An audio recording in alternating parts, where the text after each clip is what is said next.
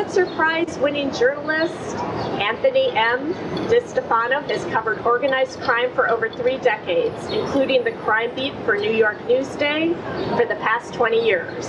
His books on organized crime include Gangland, New York, King of the Godfathers, Mob Killer, The Big Heist, and Top Hoodlum.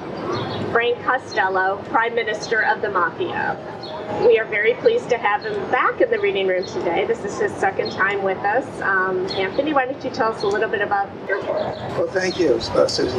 The book Gotti's Boys takes the look at the organized crime picture in a sort of different way. I tried to show how chance and seemingly unrelated events uh, got together to help propel John Gotti to the position of boss of the Gambino family, uh, which he uh, ascended to in 1985. And I'm really focusing on the people who helped him get there.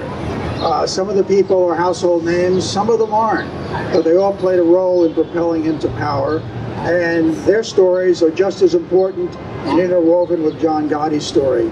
Of course, you know how the story ends. Uh, none of this really ends very well for any of these characters, but it's really a story that uh, I think encapsulates New York's mafia world in the 80s and 90s, and even into the year 2000 when organized crime was really on its ascendancy uh, in New York. And that's essentially what the book's about.